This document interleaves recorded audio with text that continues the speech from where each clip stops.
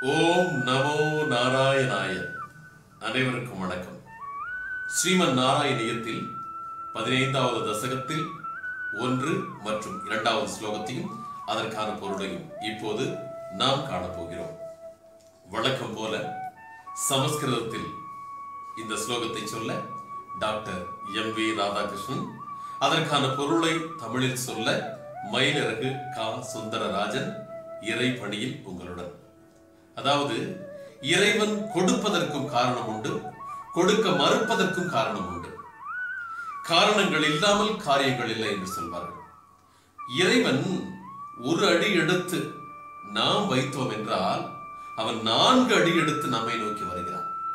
அவனை நோக்கி செல்வதற்கு முதல் முயற்சியாக ஒரு அடி நாம் எடுத்து வைப்போமானால் அவன் தாயினும் சால பறிந்து என்று சொல்வார்கள். ஒரு தாயாய் தந்தையாய் ஐந்து அடிகள் நம்மை நோக்கி வருகிறார். அருள் பாலிப்பதற்காக.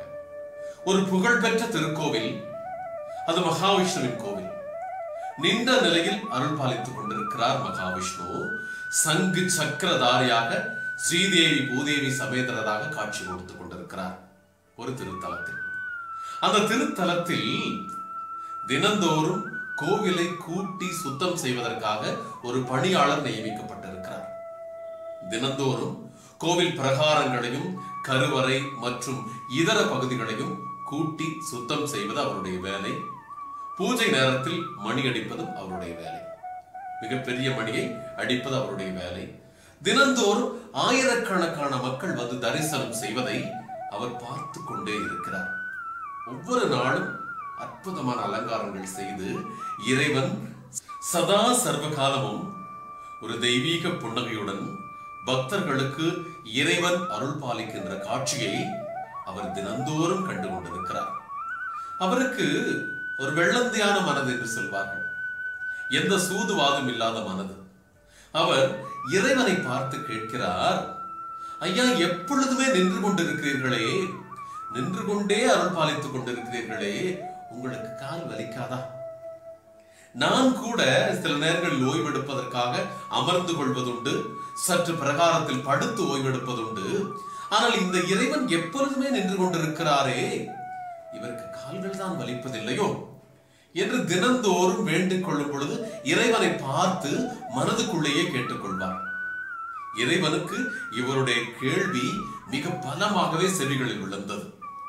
ஒருமுறை இறைவன் அவருக்கு கூறுகிறார் சரி எப்பொழுதுமே என்னை நின்று கொண்டிருப்பதாக குறைபட்டு கொண்டிருக்கிறாயே. ஒரு முறை நீ என்னுடைய இடத்தில் வந்து நின்று கொள் நான் ஓய்வெடுத்துக் கொள்கிறேன் அல்லது உன்னுடைய வேலையை நான் செய்து கொள்கிறேன் என்று. இதை யோசித்து பார்த்த அந்த பணியாளனுக்கும் பக்தனுக்கு சரி என்றே படுகிறது. இறைவனுக்கும் அவருக்கும் ஒரு ஒப்பந்தம். என்ன ஒப்பந்தம் என்றால் ஒரு நாள் முழுவதும் இந்த பணியாளன் சங்கு சக்கரத்தை ஏந்தி தெய்வீக புன்னகையுடன் மந்தகாச புன்னகையுடன் பக்தர்களுக்கு அருள் பாலிக்க வேண்டும். இறைவனாக நின்று கொண்டிருக்க வேண்டும் முழு நாளும். இறைவன் இவருடைய வேடத்தை ஏற்றுக்கொண்டு கோவிலை சுத்தப்படுத்த வேண்டும். இதுதான் இறைவனுக்கும் இவருக்கும் இடையில் ஏற்படுத்திய ஒப்பந்தம். இறைவன் ஒரே ஒரு விஷயத்தை மட்டும் மிக சரியாக சொல்கிறார். நான் சொல்ல போகின்ற இந்த விஷயத்தை நீ எந்த கணமும் மீறக்கூடாது. என்ன அது? இங்கு என்ன நடந்தாலும் சரி நீ புன்னகையுடன் பார்த்து கொண்டுதான் இருக்க வேண்டும். அதை தவிர வேற எதுவுமே நீ செய்யக்கூடாது என்று இந்த பணியாளனுக்கு இறைவன் உத்தரவிடுகிறார். அதையும் சரி என்று கேட்டுக்கொண்டு அடுத்த நாள் இறைவனாக அந்த பணியாளர் நின்று கொண்டிருக்கிறார். ஆடாமல் அசையாமல் அதே மகாவிஷ்ணுவை போல. இறைவன் இவருடைய வடிவை எடுத்துக்கொண்டு கோவிலை மிக திறமையாக நிதானமாக சுத்தம் செய்து கொண்டிருக்கிறார். என்ன நடக்கிறது என்று அப்பப்ப கவனித்துக் கொண்டே இருக்கிறார்.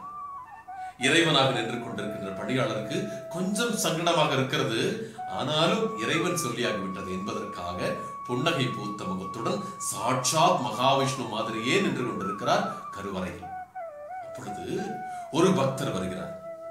அந்த பக்தர் மிகப்பெரிய செல்வந்தர். நிறைய வியாபாரங்களை செய்து கொண்டிருப்பவர் கோடிக்கணக்கான சொத்துக்களை வைத்திருப்பவர். அவர் வந்து உண்டியலில் லட்சக்கணக்கான பணங்களை காணிக்கையாக செலுத்துகிறார் வைர வைடூரியங்களை காணிக்கையாக செலுத்துகிறார் இறைவனை மனம் உருக வேண்டிக் கொள்கிறார் வேண்டிக் கொண்டு அவர் வெளியே செல்கின்ற சமயத்தில் தான் கொண்டு வந்த ஒரு கைப்பையை மறந்து கோவிலில் வைத்துவிட்டு செல்கிறார். அந்த பையில் லட்சக்கணக்கான ரூபாய் பணங்களும் வைரங்களும் தங்கங்களும் நிறைந்திருக்கிறது. இதை இறைவனாக நின்று கொண்டிருக்கின்ற அந்த பணியாளருக்கு தெரிகிறது. சரி இறைவன் தான் கட்டளையிட்டு இருக்கிறாரே எது நடந்தாலும் அமைதியாக இருக்க வேண்டும் என்று. சரி என்று சிலையாகவே நின்று கொண்டிருக்கிறார் புன்னகை முகத்துடன். அடுத்ததாக ஒரு பரம ஏழை இறைவனை தரிசனம் செய்வதற்காக அங்கு வருகிறார். கோவிலில் நின்று மனமுருக பிரார்த்தனை செய்கிறார்.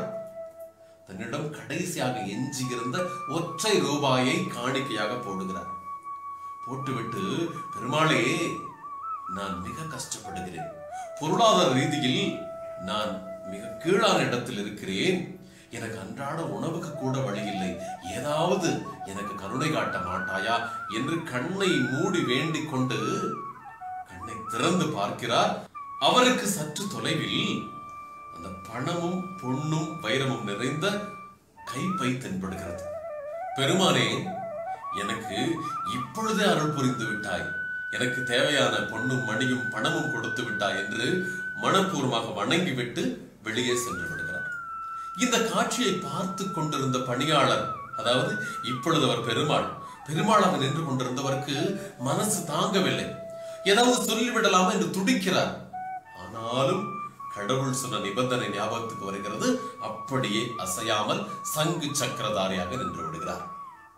அடுத்ததாக கப்பலில் வியாபாரம் செய்யக்கூடிய கப்பலில் வெளிநாட்டுக்கு சென்று வியாபாரம் செய்யக்கூடியவரும் கப்பல் வியாபாரியுமான ஒரு பக்தர் உள்ளே வருகிறார். அவரும் மனமுருகி பெருமாளை வேண்டுகிறார். இன்று நான் கப்பலில் பயணம் மேற்கொள்ள போகிறேன் கடலில் செல்ல போகிறேன். எனக்கு நீ துணைக்கு வந்து அருள் புரிய வேண்டும் என்று மனதார வேண்டிக் கொண்டிருக்கிறார். அவர் வேண்டிக் கொண்டிருக்கின்ற சமயத்தில் அந்த கைப்பையை விட்டு சென்றாரே பெரிய பணக்காரர். அவர் காவலர்களை அழைத்துக் கொண்டு கோயிலுக்கு வருகிறார். மிகப்பெரிய செல்வம் தொலைந்து போய்விட்டது கைப்பையில் காணாமல் போய்விட்டது. காவலரிடம் புகார் தெரிவித்து அந்த காவலரை கையுடன் அழைத்து கோவிலுக்கு வருகிறார் உள்ளே வருகிறார். வருகின்றவருக்கு இந்த கப்பல் வியாபாரி கண்ணில் படுகிறார். இவர்தான் அந்த பணத்தை எடுத்திருப்பார் என்று நினைத்து இவர் மீது ஒரு பொய்க்குற்றத்தை சுமத்துகிறார். சுமத்திய பிறகு அந்த கப்பல் வியாபாரியை கைது செய்து அழைத்து செல்கிறார். அவர் கோவிலை விட்டு கோவில் வாசலை விட்டு வெளியே செல்வதற்குள் இங்கு பெருமாளாய் நின்று கொண்டிருந்த பணியாளருக்கு துடிக்கிறது. இதற்கு மேல் தன்னால் பேசாமல் இருக்க முடியாது என்று தன்னுடைய வேஷத்தை எல்லாம் கலைத்துவிட்டு சட்டென்று வெளியே ஓடி வந்து உண்மையை சொல்லி விடுகிறார். உண்மை அந்த பணக்காரருக்கு தெரிகிறது. உடனே ஏழையை பிடிப்பதற்காக செல்கிறார்கள். இப்பொழுது இந்த நிகழ்ச்சி இந்த கோவிலில் நடந்து முடிந்து விடுகிறது. இவருக்கு நிம்மதி. யாருக்கு? இந்த பணியாளருக்கு நிம்மதி. மாலை நேரம் ஆகிறது. மாலை நேரத்தில் அந்த பணியாளரும் இறைவனும் சந்தித்துக் கொள்கிறார்கள். இறைவன் கேட்கிறார் அந்த பணியாளரிடம் எப்படி இருந்தது என்னுடைய வேலை எல்லாம் என்று. அதற்கு பணியாளர் சொல்கிறார் மிக கடினம். என்னால் பார்த்து கொண்டே இருக்க முடியவில்லை. நான் பிடித்து கொடுத்து விட்டேன். யாரை? பணத்தை எடுத்துக்கொண்டு சென்றார் அல்லவா? அவரை பிடித்து கொடுத்து விட்டேன் என்று சொல்கிறார். அதற்கு இறைவன் சொல்கிறார் தவறு செய்து விட்டாய். யாருக்கு என்ன கொடுக்க வேண்டும் எப்படி கொடுக்க வேண்டும் என்பது எனக்கு தெரியும். அவரவருடைய புண்ணிய பாவங்களை பொறுத்துத்தான் நான் பலனை கொடுப்பேன். உனக்கு என்ன தெரியும்? நான் சொன்ன சொல்லை மீறிவிட்டாய் என்று சொல்கிறார். அதற்கு இறைவனுடைய விளக்கம் இன்று காலையில் வந்தார் அல்லவா? பணக்காரர். பணப்பையை விட்டு சென்றார் அல்லவா? அவர் பெரிய பெரிய பாவங்களை செய்பவர். ஆனாலும் என்னுடைய திருவடியில் விழுந்து வணங்குகிறார். அவருடைய பாவத்தின் பங்கை குறைக்க வேண்டும் என்பதற்காகத்தான் அவர் விட்டு சென்ற பணப்பையை அந்த ஏழைக்கு தானமாக கொடுக்க வைத்தேன். ஒன்று இப்பொழுது ஏழைக்கு அந்த பணத்தை கிடைக்க அருள் புரிந்தேன். இந்த பணக்காரருக்கு பாவத்தின் சுமையை குறைக்க வழிவகை செய்தேன். அது இரண்டும் நான் செய்தது. அடுத்து இந்த கப்பல் வியாபாரி இன்றைக்கு கடலில் பயணம் செய்திருந்தால் கப்பல் புயலில் அகப்பட்டு கொண்டு கப்பலும் காணாமல் போயிருக்கும். இவரும் உயிரிழந்திருப்பார். என்னை காவலுக்கு வரச் சொல்லி வேண்டிக் கொண்டார் அல்லவா அந்த செயலை அந்த விபத்தை தடுக்க வேண்டும் என்பதற்காக மட்டுமே நான் கப்பல் வியாபாரியை காவலர்களை விட்டு ஒரு நாள் கைது செய்து அவரை சிறையில் அடைக்க வைத்தேன். அதை நீ மாற்றிவிட்டாய். இப்பொழுது புரிந்ததா? அவருடைய விதியை மாற்ற வேண்டும் என்பதற்காகத்தான் அந்த கப்பல் வியாபாரி மீது திருட்டு பழியை சுமத்தினேன் என்று இறைவன் அவருக்கு விளக்கினான். இந்த பணியாளர் சாஷ்டாங்கமாக இறைவனுடைய திருவடிகளில் விழுந்து வணங்கி ஐயனே என்னை மன்னித்தருள வேண்டும் என்று கண்ணீர் விட்டு கதறிவிட்டார். எனவே காரணங்கள் இல்லாமல் காரியங்கள் இல்லை. இறைவன் கொடுப்பதை யார் யாருக்கு எவ்வளவு கொடுக்க வேண்டும் என்று இறைவனுக்கு தெரியும். நிச்சயமாக அவர் கொடுத்து கொண்டேதான் இருப்பார். இறைவன் கொடுப்பதிலும் கருணை இருக்கிறது கொடுக்க மறுப்பதிலும் கருணை இருக்கிறது. எனவே அவனை மனதார வேண்டுவோம் என்று சொல்லி ஸ்ரீமன் நாராயணியத்தின் பதினைந்தாவது தசகத்தின் முதல் ஸ்லோகத்தை சொல்ல டாக்டர் எம் வி ராதாகிருஷ்ணன். மதிரிக குணசக்தா பந்த கிருத்தேஷு சக்தா ത്വമൃതകൃതുപരുന്തേ ഭക്തിയോഗസ്തു സക്തിം മഹദനുഗമലഭ്യ ഭക്തിരേവാത്ര സാധ്യ കപിലതനുരുതിത്വം ദേവകൂത്തേ നെഗാതി.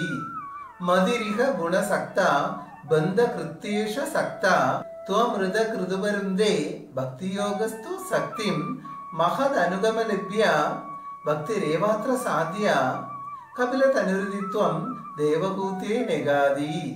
ஸ்ரீ அப்பனே ஸ்ரீ குருவாயூரப்பனே மூன்று குணங்களையும் ஆதாரமாக கொண்டு விளங்கும் புத்தியானது சம்சார பந்தத்தை உண்டாக்குகிறது. அதிலும் பற்றற்ற புத்தியை உருவாக்குவது என்பது பக்தி யோகம் மூலமே ஆகும். பக்தி யோகம் என்பது பற்றுதலை தடுத்து நிறுத்த வல்லது மகான்களை பின்பற்றுவதன் மூலம் நாம் பக்தி யோகத்தில் செல்லலாம். இந்த பக்தி யோகம் என்பது இந்த உலகத்தில் மட்டுமே கிடைக்கக்கூடியது என்று கபில தனுருதி துவம் தேவஹூத்தியை நெகாதி என்று இந்த வரிகள் மூலமாக நாராயண பட்டத்திலே சொல்கிறார். அதாவது கபிலராக தோன்றிய நீ உன்னுடைய தாயான தேவகூத்தியைக்கு இந்த வார்த்தைகளை சொல்லி நீ உபதேசம் செய்தாய் என்று நாராயண பட்டத்திரி இந்த ஸ்லோகத்தில் எழுதியிருக்கிறார். அது மட்டுமல்ல இதை தொடர்ந்து வருகின்ற எட்டு ஸ்லோகத்திற்கும் தன்னுடைய தாயான தேவகூத்திக்கு கபிலர் உபதேசிக்கிறார் இப்படி. என்று சொல்லி இத்துடன் இந்த ஸ்லோகம் நிறைவு பெறுகிறது. இனி அடுத்த ஸ்லோகம் அதாவது பதினைந்தாவது தசகத்தின் இரண்டாவது ஸ்லோகத்தை சொல்ல டாக்டர் எம் வி ராதாகிருஷ்ணன். பிரகிருதி மகத் அகங்காராச்ச மாத்ராச்ச பூதா நெபி ஹிருதபி தசாட்சி പുരുഷ പഞ്ചവിംശഃ ഇതി വിദിത വിഭാഗോ മുച്യതേസൗ പ്രകൃത്യ കപില തനുരുതിത്വം ദേവഭൂത്യേ നഗാതി പ്രകൃതി മഹത് അഹങ്കാരാച്ച മാത്രാശ്ച ഭൂത നബി ഹൃദവി ദശാക്ഷി പുരുഷ പഞ്ചവിംശഃ ഇതി വിദിത വിഭാഗോ മുച്യതേസൗ പ്രകൃത്യ കപില തനുരുതിത്വം ദേവഭൂത്യേ നഗാതി ശ്രീ അപ്പനെ ശ്രീ ഗുരുവായൂരപ്പനെ இந்த பிரகிருதி அகங்காரம் ஆகியவை பஞ்சபூதங்களின் காரணமாக வாசனை சுவை தொடு உணர்ச்சி உருவம் மற்றும் ஓசை என்ற தன்மாத்திரைகள் பூமி நீர் அக்னி வாயு ஆகாயம் என்கின்ற பஞ்சபூதங்கள் மனம் கண் காது மூக்கு நாக்கு மெய் என்கின்ற ஐந்து ஞான இந்திரியங்கள் பேச்சு கை கால் மர்மக்குறிகள் மலமூத்திர குறிகள் என்கின்ற ஐந்து கர்ம இந்திரியங்கள் ஆகிய இவற்றுடன் இணைந்த ஜீவன் இருபத்தி ஐந்தாவது தத்துவமாகும். இப்படியாக இந்த வேறுபாடுகளை உணர்ந்த மனிதன் இந்த பிரகிருதியின் பிடியிலிருந்து அறியாமை என்னும் பிடியிலிருந்து விடுபடுகிறான் என்று உன்னுடைய தாயான தேவகூதிக்கு உபதேசம் செய்தாய் அல்லவா என்று நாராயண பட்டத்திரி இந்த ஸ்லோகத்தில் அருள் இருக்கிறார் என்று சொல்லி இத்துடன் இந்த ஸ்லோகம் அதற்கான பொருளும் நிறைவு பெறுகிறது. மீண்டும் அடுத்த பகுதியில் சந்திப்போம். உங்களிடமிருந்து வணக்கம் கூறி விடைபெறுவது மயிலிறகு கா. சுந்தரராஜன் மற்றும் டாக்டர் எம். வி. ராதாகிருஷ்ணன். நன்றி வணக்கம் மீண்டும் சந்திப்போம். சர்வம் கிருஷ்ணார்ப்பணம்.